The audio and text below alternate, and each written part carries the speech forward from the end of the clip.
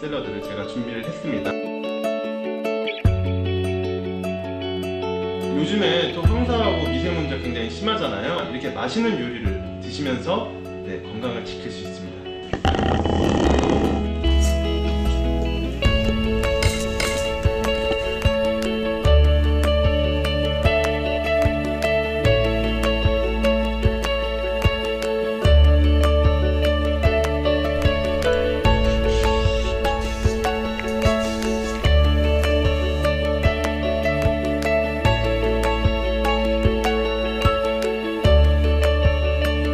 수입산 돼지고기는 유통 과정이 길기 때문에 좀 맛하고 품질이 떨어지는데 우리 돼지고기 한돈을 사용하시면 어, 맛도 있고 영양소도 아주 풍부하고 그리고 냉장육이기 때문에 씹는 맛도 굉장히 좋아요.